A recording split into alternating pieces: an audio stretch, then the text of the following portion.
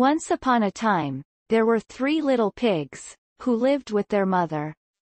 It was time for them to leave their hut and seek their own fortunes. Before they left, their mother told them, Whatever you do in this world, do it the best you can because that's the way to get along in the world. A little sad, but with a bit of excitement, they left their hut. After a whole day, they finally found a piece of land where they could build their huts. The first little pig built his hut out of straw. He thought it was the easiest and fastest way to do so. That way, he had heaps of time to play. Tap the object to build the hut.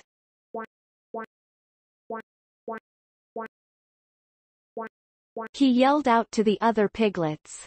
Hey you guys, I'm already finished.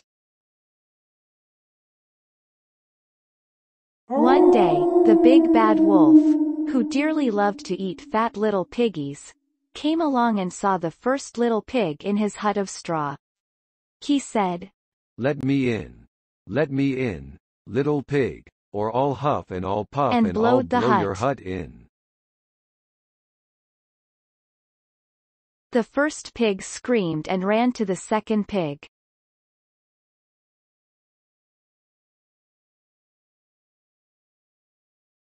The second little pig built his hut out of wood.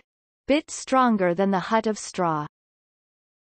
Tap the object to build the hut. He yelled out to the other piglets. Hey you guys, I am already finished.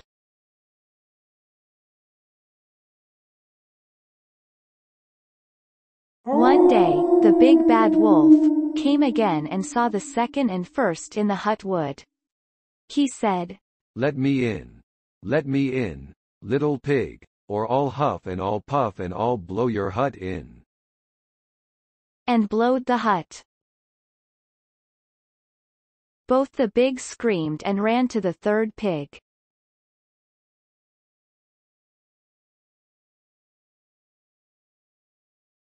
The third little pig built his house out of bricks. It took him a week to finish but very strong. Tap the object to build the hut.